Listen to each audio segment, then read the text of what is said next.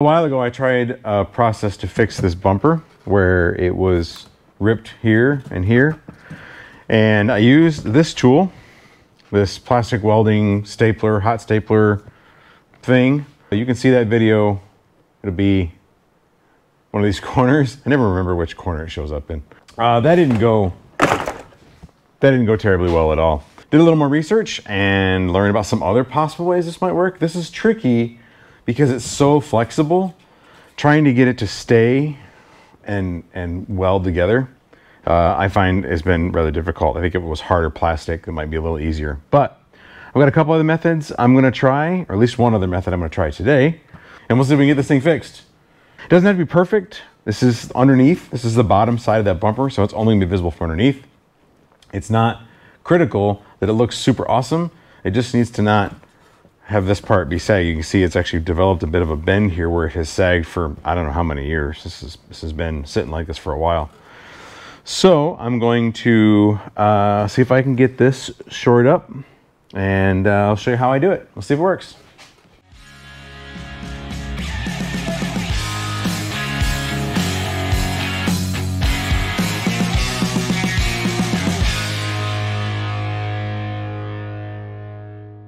All right, so I picked up a different tool. It's a similar process. It's like a, basically it's a soldering iron with a special flat tip in it. And this kit also came with one. This slides over the end of these and uh, and would get hot and give you kind of a flat blade to push down and heat up and, and kind of smush around like a putty knife almost. But just like those staples, if you recall in that video, this does not fit on here. Even then, it's like super flimsy. So I picked up this tool recently, and it's got a much more rigid tip on it, which I think will help a lot. It was super cheap.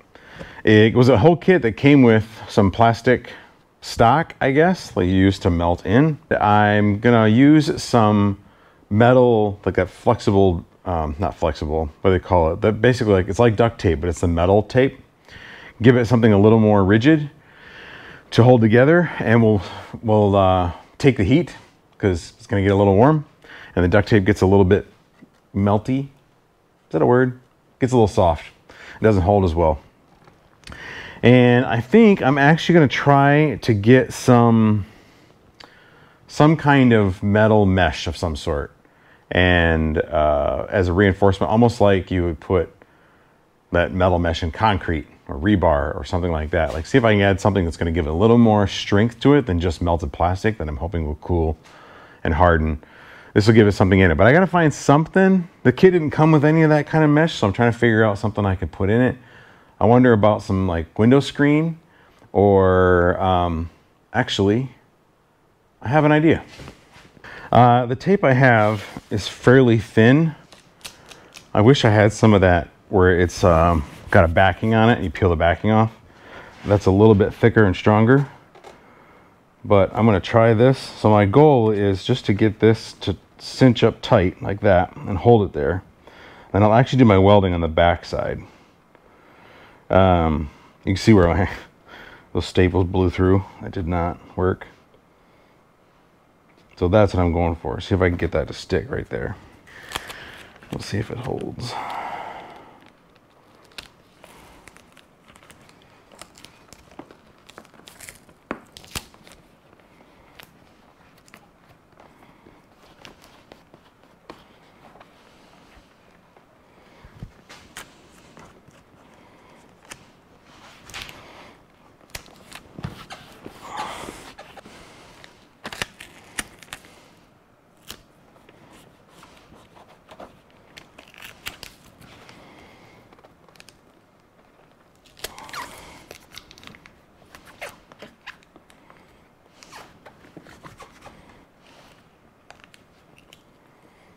Still wants to kind of pull apart. Let me look on the inside here. Yeah, it's pretty good. Okay. Now let's flip this over. We'll take a look at the inside here.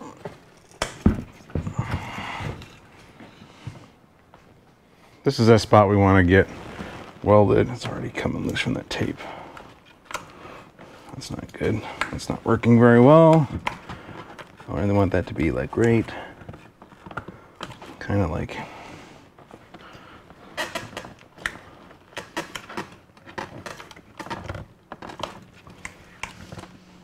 like that. It does not seem to want to stay there. What if I taped, sounds ridiculous, what if I taped all the way across? trying to hold it like that right there. That's the perfect spot. So I've got this, this short up here with some tape, trying to hold these two pieces together, and then a clamp. And so I'm just gonna do this little bits at a time. So I'll start here and do some some plastic welding here and then let it cool. And then I'll come up here and do this part. If I take this clamp off and see if that holds together. If getting this to hold together will hold that together. Because uh, even with it taped together like this, this, this, these two, this section here still wants to separate just a little bit. And just enough that it may not be a big deal, but I'm trying to keep it as close as factory as possible. So I'm gonna try to see if I can do it. So we'll start here. So I'm gonna do this kind of like a, I guess kind of like a soldering iron a little bit. Like this is this piece here gets good and hot and will melt. I'll use some of the plastic that's already here and kind of put in here like so. And as I do, it'll get hot and melt that. And as it melts, it's gonna blend back together. Now this has some pretty significant holes in it from where it blew through with those staples.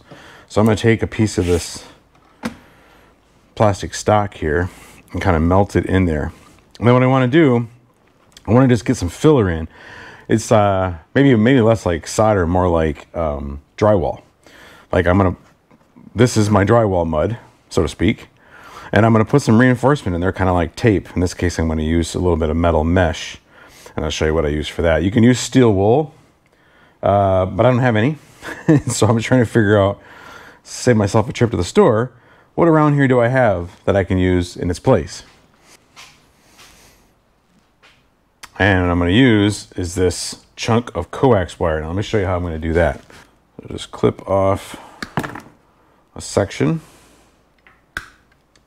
And we'll get a little bit of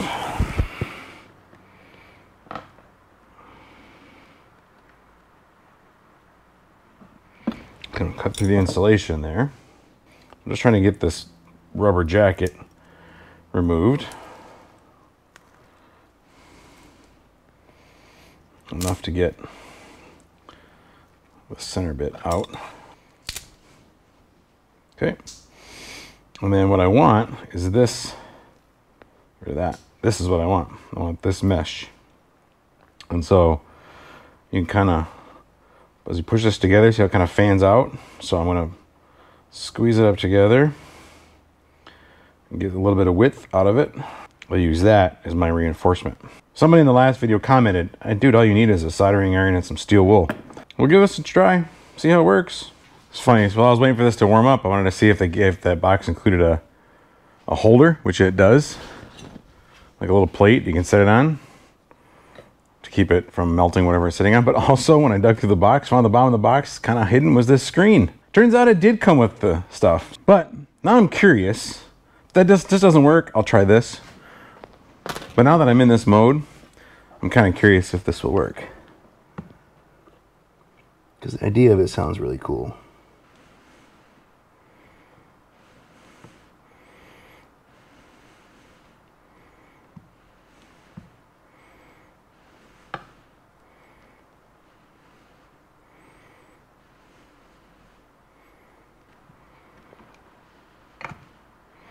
So just trying to get some volume of stuff on the surface for now. Trying to make not too much of a mess. And I'm not doing very good at either one. I feel like this should... Like I've watched these videos. It seems to go a lot faster than what I'm doing. But, okay. So I'm just gonna set this in here.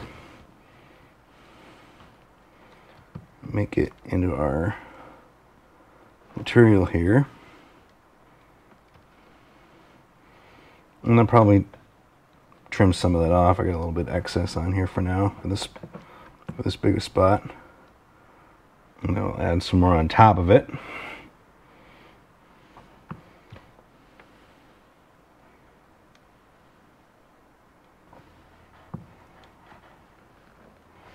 Obviously this isn't very pretty, but it's the backside of the bottom and it doesn't have to be pretty. It just has to hold. All right, I'm gonna let that cool for a bit. I feel like this is kind of like drywall. You probably can mess with it too much. So I'm gonna leave it. Let it set. Let's see where we are. Not playing around with it too much. So we'll give this four or five minutes and we'll come back. All right, it's pretty, pretty hard now. It's cooled.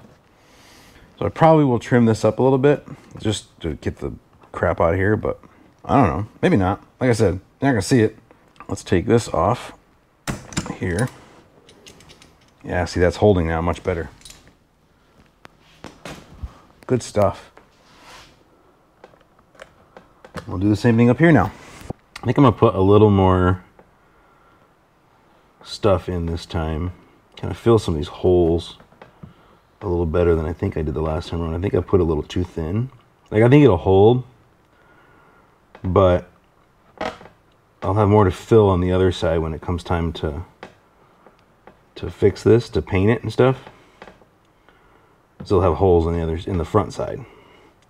Which I do intend to do here. That's the next step after I get all these cracks fixed up. Might consider wearing a mask. This stuff is pretty potent. I don't know. All right, let's leave that for now. And get my metal in here.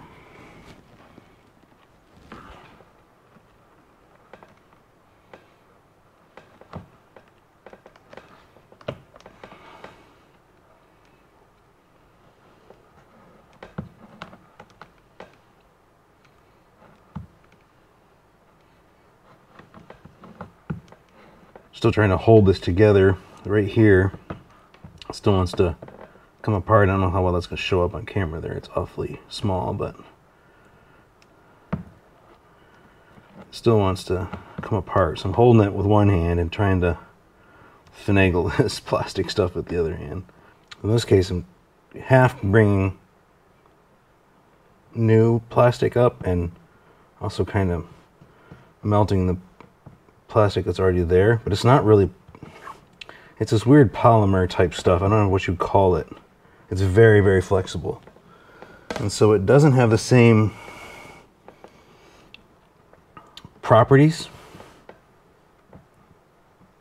as like a hard plastic would. And I do think that's a factor. So it doesn't really meld together very well. All right, now I'm just gonna hold this for a bit since I don't have any way of clamping it and let it cool.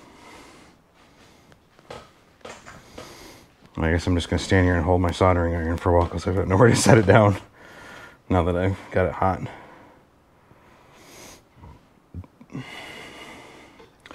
Do do do do do do. I don't know if that really helps.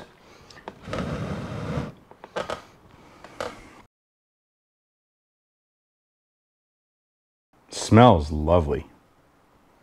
I would definitely get some ventilation or like I have a fan, I have an exhaust fan I forgot to turn on. I can't turn it on from here. I don't want to let go. So just putting up with the smell, but it is pretty, you know, melting plastic doesn't smell awesome. Um, so I would definitely, if you're gonna do this in a small space, you know, get a fan or open a window or you want some ventilation. Probably should wear a mask. I don't know how good this is breathing in. Never been one for, you know, OSHA safety stuff, but I've said a bunch of times I'm kind of a walking OSHA violation, so don't, you know, don't use me for your safety rules. But, um, you know, maybe glasses, gloves, a respirator, or at least a mask. Because uh, I'm sure breathing in these plastic, this, the smoke from the plastic melting is not, not good for your lungs. You guys bored yet? I know I am. All right, seems to have cooled. So What do we got here? Well, I was pretty happy with it. And then I had to go run some errands and I come back to finish up the other half and it's a split back open again. So it didn't stick at all.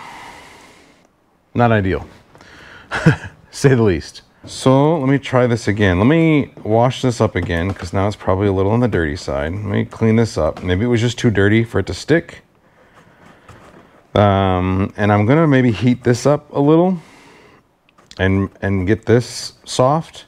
So then maybe they'll bond together. But it, like I said earlier, I think they are different kinds of plastic, and I'm not a plastic or, or like what do they call it with metal metallurgy. I'm not a I'm not a polymerology guy, so I don't know the differences in the plastics or why one works versus another, but let's give that a whirl. So that's just some soap and water. Mm, pretty dirty. I did already clean this once, but apparently not very good. If I can tape this up a bit. I have this work a little bit better.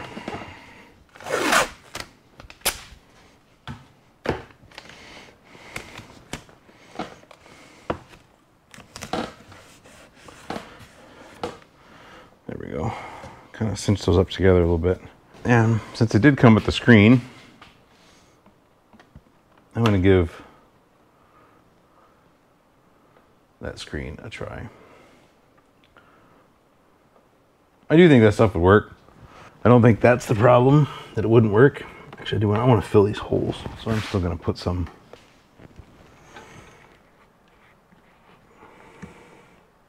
chunks of this stuff in there.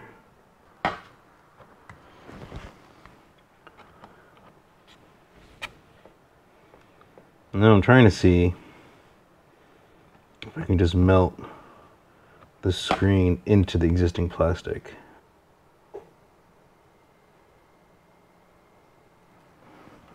It's like it evaporates. so weird. Like it doesn't melt, it dissolves. Now I'm wondering if that other staple tool would have actually worked on something else, just not on this. I don't know.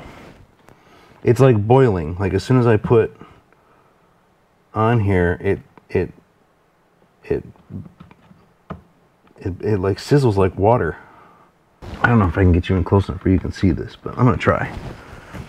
All right. So what I'm talking about here is this right here. I'm trying to melt this into the plastic.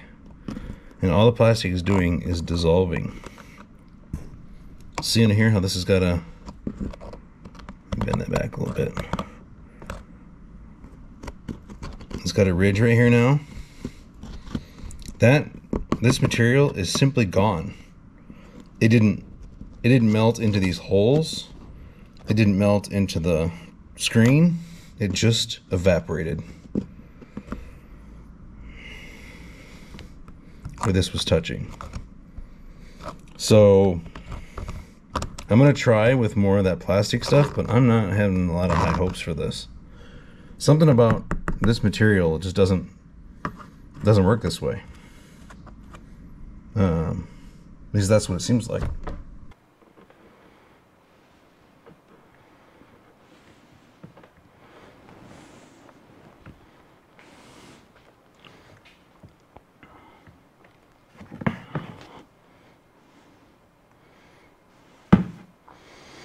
All right, so I bent that screen back and now it now wants to pull away while it's soft. So I'm gonna hold this here while it cools a little. If I can get that to stick. I feel like I'm gonna taste this plastic for days. So I'm just kind of holding it here with a cheap set of pliers just so that that screen doesn't peel away again. So one advantage of that other, you know, that using that coax wiring basically is it's way more flexible than this uh, screen. And once the screen gets bent in a certain spot, it's kind of hard to straighten it back out. So I just got to hold this until that plastic cools enough that it's sort of tension, its its tensile strength, I guess you call it, is stronger than the screen and holds the screen in place. But I still have my doubts about this holding long term. All right, so it's stuck there. I'll let that cool for, I don't know, before I take the tape off, everything just leave it sit where it is. I'm gonna leave it for, I don't know, maybe a half hour. I was gone for an hour and it didn't hold, but I had already taken the tape off and it was pulling against itself. So let me leave it locked in place and just let it cool for a bit. All right, it's actually been drying for a little while. So, kind of the moment of truth. What do you think? It's gonna hold? I have my doubts. Partly is this spot up here is still not, this crack is still not quite as, so as, as cleaned up or as shored up, I guess, as I like it to be. So it's gonna put some tear pressure on.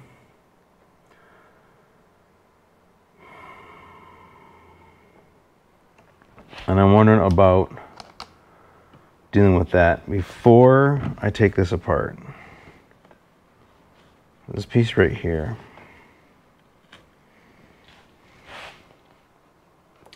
So I'm going to do that real quick.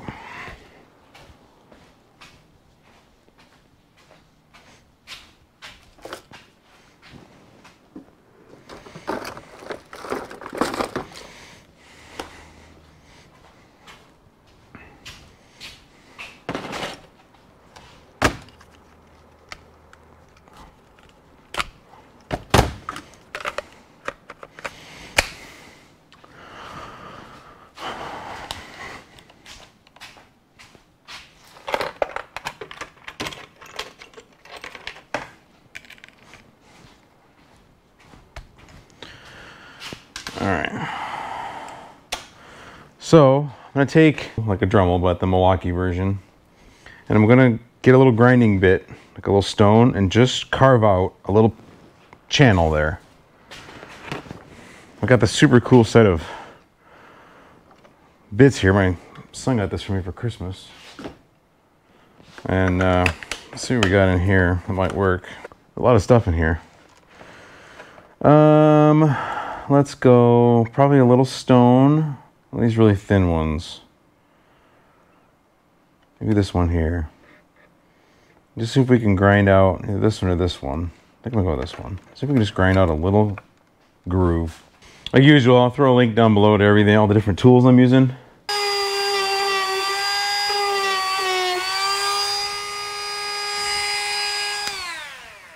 So I'll see if I can get it hot enough that it'll fill down in that crack.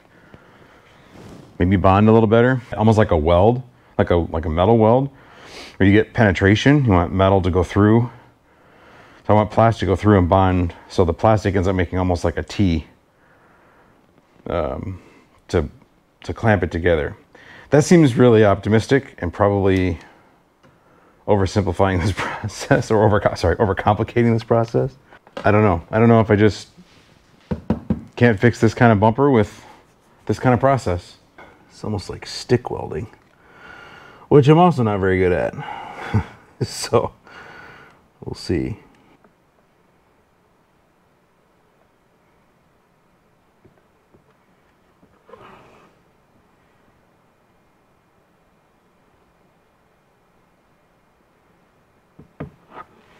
All right. Now another hurry up and wait. Give us another little bit. Um, it's dinner time now, so I'm gonna go run and get some dinner, and I'll check this when we're done eating. Well, maybe it's working.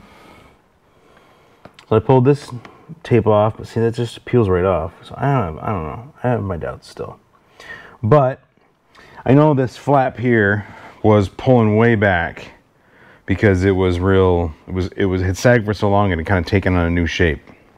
So I gave it a little heat with a heat gun and bent it back up. And let me show you.